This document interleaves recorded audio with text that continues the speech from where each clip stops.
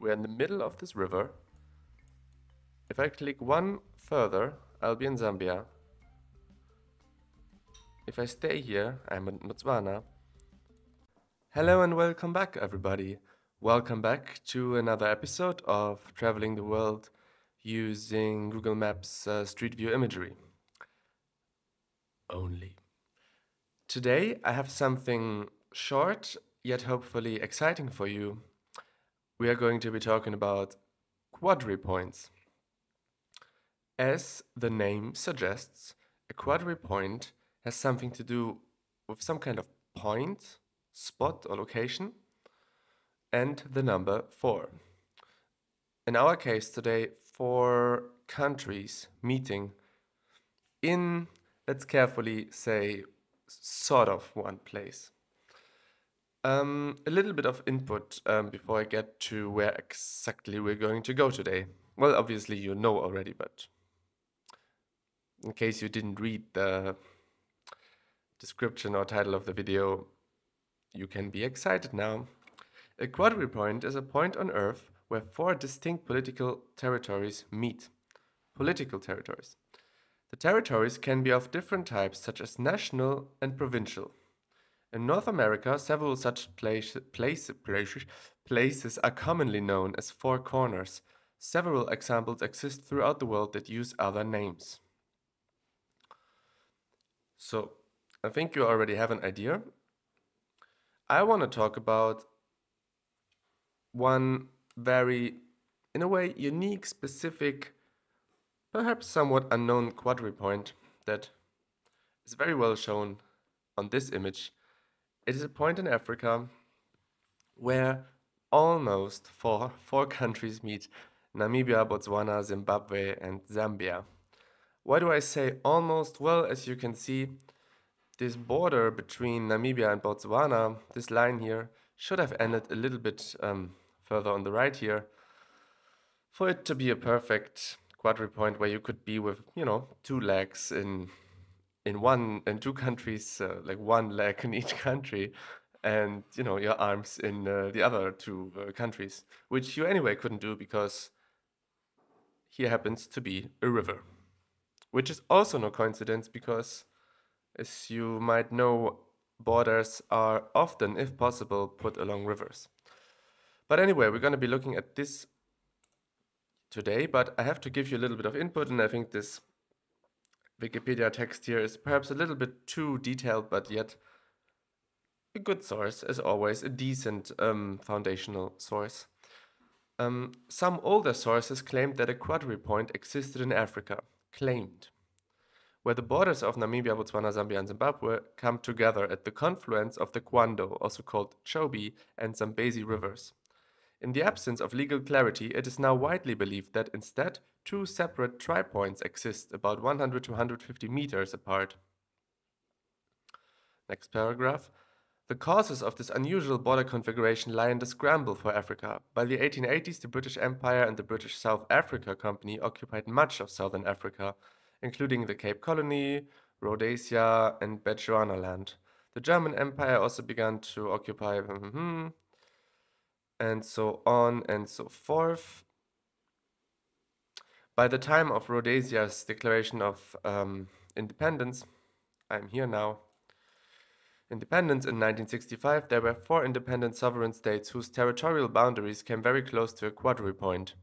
The Republic of South Africa to the west, the newly independent Republic of Zambia, the newly independent Rhodesia, the British Bechuanaland Protectorate to the south. In 1970, South Africa, which at the time occupied Namibia, informed Botswana that there was no common border between Botswana and Zambia, claiming that a quadripoint existed. As a result, South Africa claimed that the Kazungula ferry, which links Botswana and Zambia at the quadripoint, was illegal. Botswana firmly rejected both claims. There was a confrontation and shots were fired at the ferry. Some years later, the Rhodesian army attacked and sank the ferry, maintaining that it was serving military purposes. Ian Brownlie, who studied the case, wrote in 1979 that the possibility of a quadripoint could not be definitely ruled out at that time. In August 2007, the governments of Zambia and Botswana announced a deal to construct a bridge at the site to replace the ferry. The existence of a short boundary of about 150 meters between Zambia and Botswana was agreed by all four states. In 2006 to 10 period, and now shown in the African Development Fund project map, period. This matches the data kept uh, by the Office of the Geographer uh, under the, however, the Anglo-German Agreement of 1890 stipulates that the Thalweg, Thalweg, I don't know, junction of the Chobe and Zambezi, which today falls within the demarcated limits of Zimbabwe, is the eastward limit of the Caprivi Strip in today's Namibia. Moreover, it was reported in 2014 that Namibia actually granted Botswana and Zambia an easement to build their bridge across what all three parties concurred was Namibian territory. The Kazungula Bridge opened for traffic in May 2021. What can we possibly take from this? Um, well, the first thing, there's actually no quadri point, but still kind of, at least you can stand in one spot and see four countries. Which maybe is also possible somewhere else, but maybe not. Three countries, yes, two countries, go home. But four countries, in that sense, it's still quite an astonishing area. And secondly, um, the borders are often unclear, not very well defined. We find examples uh, of that all over the world, um, you know, even in Europe um, today, which, you know, when I grew up, I was thinking, this is the map of the world, and, you know, that's how it is, and it's not going to change, because why would it change? Because, you know, everyone has their share, everyone has their part, and it's historically grown. But of course, uh, with Africa's history of colonization, um, there were different interests, uh, occupations, and you know, uh, different uh, power structures uh, at play. Now, anyway, we're going to go to this very interesting quadri point, which I think the name is still somewhat fair, and we're going to be going through the city of Kazungula. Kazungula is a small town in Zambia at Kazungula, the territories of four countries come close to a meeting at the quadri point. It has now been agreed that the international will contain two tri-points. Two tri-points because, uh, well, on one hand you have Zambia, Zimbabwe and Botswana meeting here, and you have Zambia, Namibia and Botswana meeting here. So Zambia is involved in two tri-points, such as Botswana. And so it is no wonder that Zambia and Botswana, being the two places involved in two tri-points, have agreed to build a bridge here, which kind of connects the countries that prevent a quadri-point. Well, really only Botswana, isn't it? Or South Africa for that matter in the past. I don't know. Something like this, okay? Um, yeah. So I think without further talking, I have talked already a lot. Please have skipped uh, already to the start of the journey by now. Um, let's go onto the map. Now the point I'm talking about is exactly here. Here, these countries kind of meet and we see indeed that there's the distance of 100, yeah, 150 meters that prevents a quadri point. By the way, I know that there are quadri points like American states, but I'm not gonna go to America again, just so you know. I wanna see something else of the world, come on. So anyway, um, this is the city of Kazungula, and I would say we're gonna go somewhere here, starting our journey, going towards the bridge, driving over it, looking at the four countries. And that's it. So let's go. First thing is that our little Google car looks like a proper camper van. We also notice immediately that here in Botswana, where I believe that we are, uh, there's left traffic. We also note that one second into the map, I'm not only going the wrong way, I also got stuck. And as a consequence, yeah, I mean, would still be left traffic, yeah. So anyway, here it doesn't look like much of a unique point in the world coming up. But what I'm interested in is will there be any signs? Will there be any sort of like cobblestones on the ground that tell you four countries meet here? Will there be any tourism? Will there be any bars? What do we find there? I have no idea.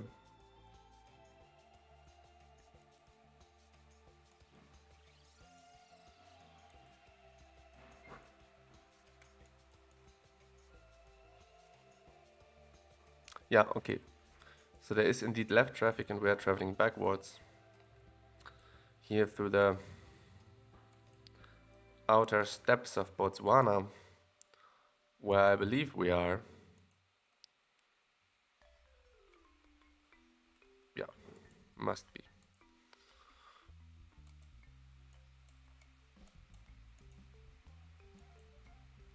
How far out did I click? Was the did I just completely underestimate the the scale? I'm like so far away. But also we have time, don't we? It's about the process as we've learned on this channel hopefully by now. The journey is what we crave. The journey is what we love.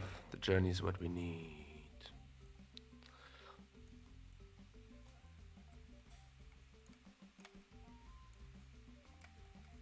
You can go 80 miles an hour here, which I would say is fair. I think that it is fair. What language do they speak here in Botswana?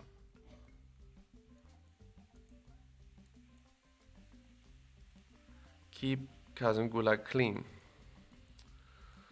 Well, that's English, but it might not be indicating for the language of the country.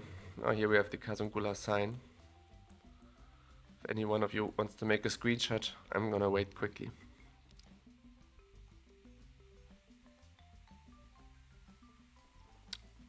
Got it? Alright. Then we can move on. And we see already the goes down down to the river. Okay, I believe they speak English in Botswana. Must be haven't been under the British Empire. In that case, although it was occupied by South Africa, but maybe this was before, or maybe I. Okay, I'm not gonna read.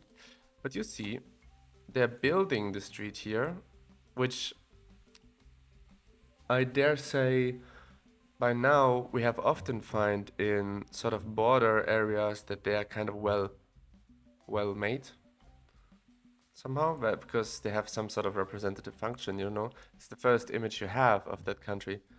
So the country kind of makes sure it's a good one especially when it's at such a interesting geographical location like this quadri point here. That we are approaching astonishingly quickly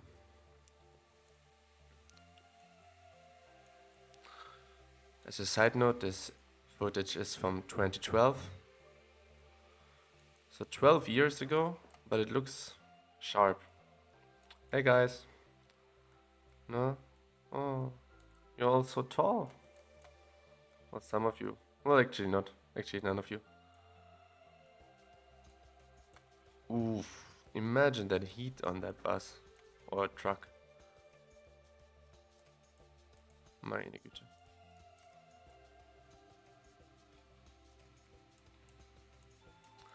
But yeah, I mean, it looks like a border in that sense that there are people lingering around waiting to be, I guess, hitchhiking going to the next town. Left goes to Panda here, and right goes to Zambia. Some dodgy business here in the side street. But I will move on and pretend I have not seen. Otherwise, your usual border architecture, You've got a gas station, you have some trucks staying there, truck drivers, I guess not being allowed to drive any further today. You know, they have a limit how long they can drive. Advertising for the Kazungula ferry, which may not exist anymore since we have a bridge now. And as usual, an extremely slow, extremely slow getting forward. Now it changes.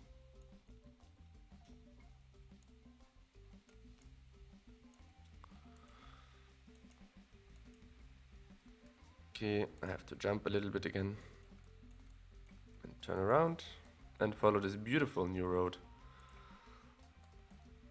That looks, you know these roads where you don't know how many lanes it has? This has like one, two and a half. So is it for two or three cars next to one another, trucks?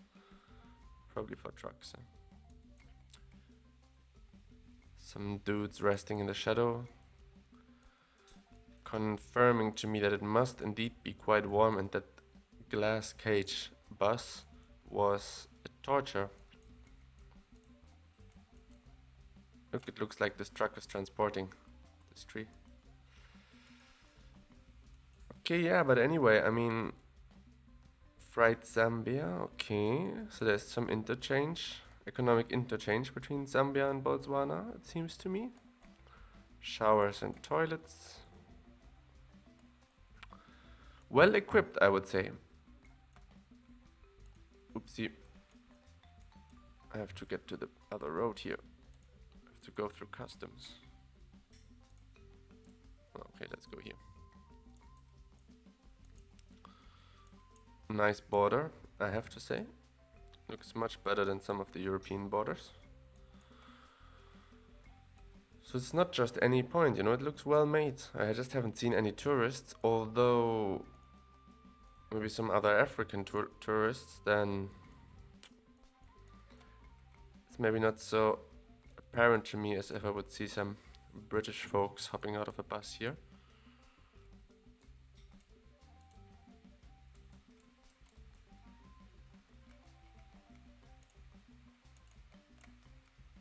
No entry vet office in health. No, not today. I already went to the vet office in the morning. Alright, and here we are now at the border, which looks decent. A bit like some architecture you would imagine to find in Texas or something. It's like white limestone sort of thing. Not white, not limestone, but you know what I mean. And now we are on the bridge, which has taken us way longer than I thought it would. I really thought I'm gonna make a very short video today. I even thought, you know, it's to be under 10 minutes. Now we're already 18 or like 17 or something. And we are not even where I wanted to go. So I don't really know. Why do we get stuck all the time? My Google Maps is broken, I think. But here we are, Zambezi River, the mighty Zambezi River, and what appears to be quite a nice looking bridge with some rail in the middle, which is confusing, and some kind of fire or like burning something in the background. Pretty nice. And I'm pretty stuck again, which I don't know why that is. It looks absolutely new. When was it opened? What, what did we read? 2021 or something?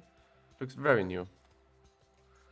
Very new. I wonder if this is one of these projects in Africa where the Chinese people just built something, some highway or some bridge.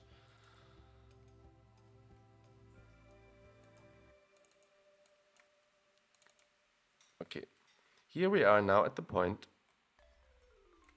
unmarked on the ground. We're in the middle of this river. If I click one further, I'll be in Zambia. If I stay here, I'm in Botswana. if I look over here, I'll be in Namibia. And if I look over here, that's Zimbabwe. I would say for a geographer this is as great as it gets. You can see four countries from one spot and all of them are very much within reach. And this is pretty cool. Here only at this Kazungula bridge. Where I cannot make any progress in either direction. Which is uh, a bit unfortunate.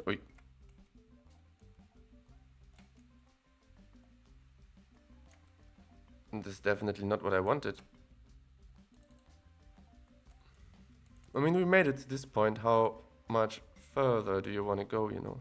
I think it would be nice if we go until the end of this blue line, which ends anyway just kind of just a little bit further.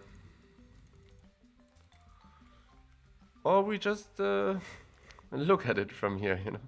Let's go here.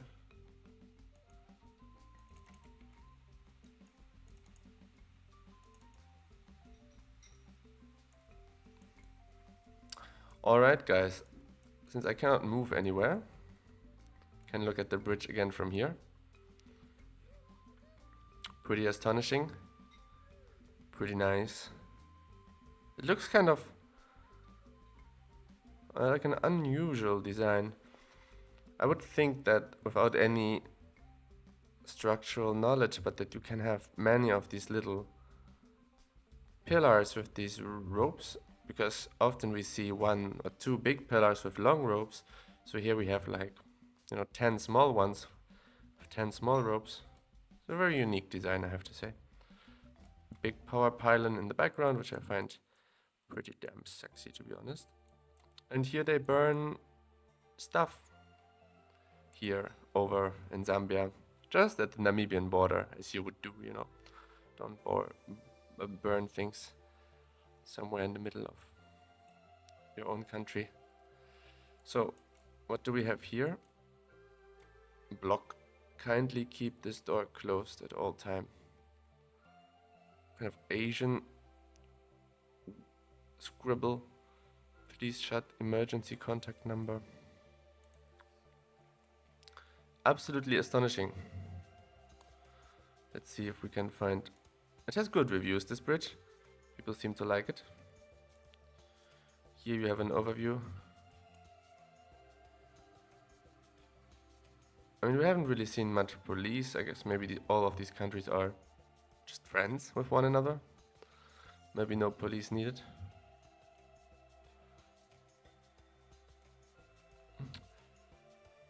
Maybe this is the old ferry here. No, it's from 2022. Hard to say. Anyway, you can only take one trucker. And at night. Well, guys, uh, I think we have seen as much as we can see. Um, I hope it was interesting. I hope it wasn't too long. I know I was talking a lot in the beginning again, even though I didn't want to. Um, so, yes, uh, I hope to see you for the next video. I wish you a lovely day. And bye-bye.